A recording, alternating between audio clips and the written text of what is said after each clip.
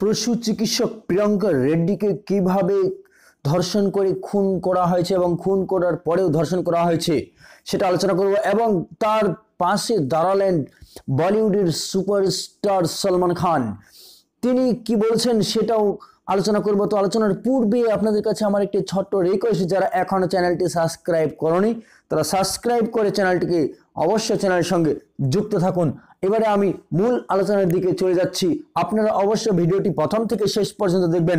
শুধুমাত্র প্রিয়ঙ্কা রেড্ডির শান্তির, আত্মার শান্তির কামনার জন্য এবং সলমান খানের যদি ফেভারেট আপনাদের যদি সলমান খান ফেভারেট হয়ে থাকে সব থেকে আপনার এই ভাইজানকে যদি খুব ভালোবাসে থাকেন, তাহলে অবশ্য ভিডিওটি প্রথম থেকে শেষ পর্যন্ত দেখবেন।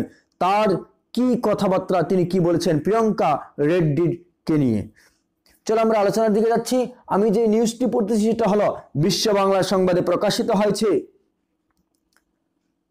তিরিশে নভেম্বর ছয়টা আঠারো মিনিটে। সন্ধ্যা ছয়টা আঠারো মিনিটে।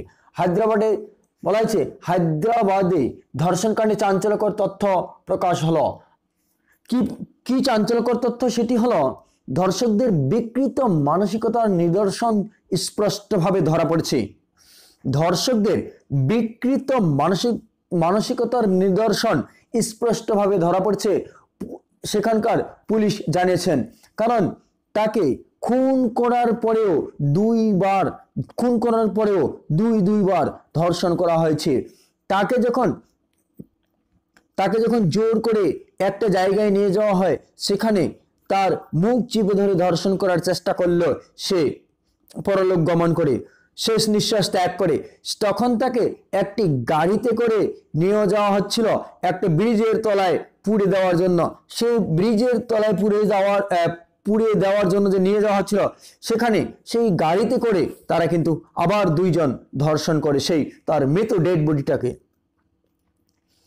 এই ব্যাপারে সলমান খান মুখ খুললেন। সলমান খান কি বলেছেন? আমাদের বলিউডের ভাইজান, তিনি বলেছেন, এই ধরনের ধর্ষকদের অবশ্য শাস্তি দিতে হবে। এই ধরনের ধর্ষকদের শাস্তি দিতে গেলে আমাদের একত্রিত হয়ে জোট বেঁধে কাজ করতে হবে। এদের শাস্তি না দিতে পারলে আমাদের মা বোনদের কোনো মান সম্মান কখনোই থাকবে না। আমরা পৃথিবীতে সঠিক মানুষ হয়ে বসবাস একাই করলে হবে না। সকলকে নিয়ে একসঙ্গে আমাদের বসবাস করা প্রয়োজন। এই যে মর্মান্তিক ঘটনাগুলো ঘটাচ্ছে আমাদের মধ্যেই কিছু কুলাঙ্গার রয়েছে, তারাই কিন্তু এই ঘটনাগুলো ঘটাচ্ছে। তাদের খুঁজে বের করার দায়িত্ব হলো আমাদের এই, আমরাই তাদের সঠিকভাবে বিচার দিতে পারি। তাদের যে পাওনা সেটা আমরাই মিটিয়ে দিব।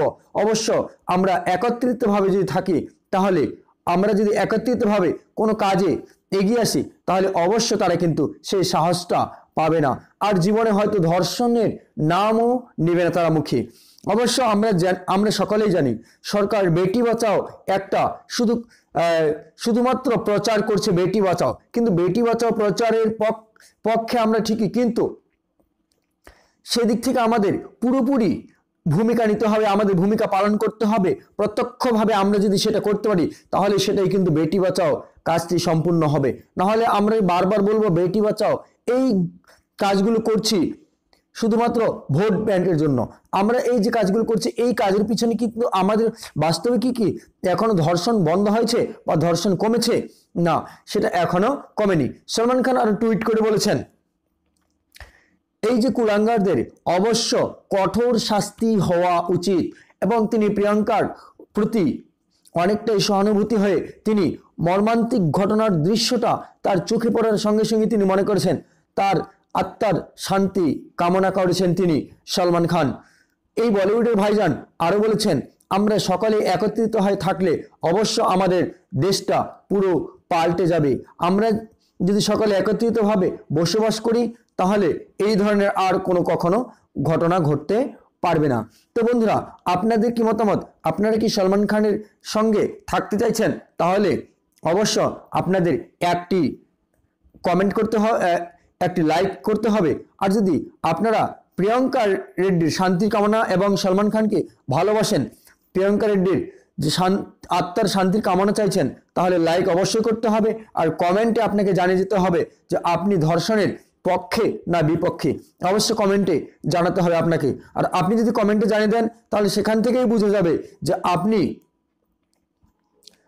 আপনি যে ধর্ষণের পক্ষে না বিপক্ষে, সেইটা নিয়ে আমরা যদি আরেকটি ভিডিও তৈরি করে ফেলি, তাহলে হয়তো সেটা এই দেশের মাটিতে অনেকটাই আমাদের এগিয়ে নিয়ে যাবে। আমরা সরাসরি যদি সেখানে যোগদান নাও করতে পারি, আমরা যদি সরাসরি সেখানে নাও উপস্থিত হতে পারি, সেই জায়গায়, অর্থাৎ সেই আন্দোলনে কোনো জায়গায় আন্দোলন করতে, তবু কিন্তু আমরা কমেন্টের মধ্য দিয়ে আমরা সেই কাজটি করতেই পারি। তো বন্ধুরা, ভিডিওটি এখানে শেষ করছি। আপনারা অবশ্যই যারা চ্যানেলটি এখনও সাবস্ক্রাইব করেনি, তারা সাবস্ক্রাইব করে চ্যানেলের সঙ্গে যুক্ত থাকবেন। আর প্রিয়ঙ্কার রেড্ডির শান্তির জন্য অবশ্যই একটি লাইক দিবেন। আর সলমান খানের পক্ষে থাকলে কমেন্টে জানাবেন, বিপক্ষে থাকলেও কমেন্টে জানাবেন। তো ভিডিওটি এখানে শেষ করছি।